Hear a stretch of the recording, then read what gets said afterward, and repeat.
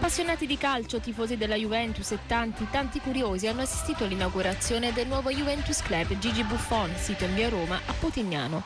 Special guest il difensore centrale della squadra di Ranieri, quel Nicola Legrottagli, nato a Gioia del Colle 32 anni fa e poi cresciuto a Mottola, nel Tarantino.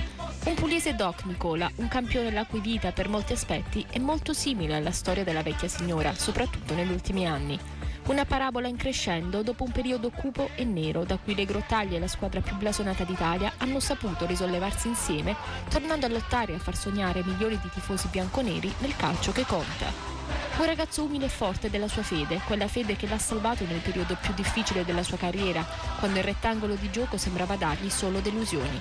Poi l'illuminazione, il ritorno alla Juve, due campionati strepitosi e una maglia azzurra che sembra ormai sempre più vicina. Anche il sindaco di Putignano, l'avvocato Gian Vincenzo Angelini De Nicolis, nonostante il suo dichiarato disamore per il calcio, è rimasto molto colpito dalla semplicità e umiltà del calciatore pugliese, che si presta alle domande dei suoi piccoli fan con grande simpatia e disponibilità. Un campione che spiega ai più piccoli come il talento da solo non possa bastare per realizzare i propri sogni. Ci vuole tanto lavoro e molto molto sacrificio, un pizzico di fortuna che non basta mai e poi l'orgoglio e la fierezza di non dimenticare mai le proprie origini.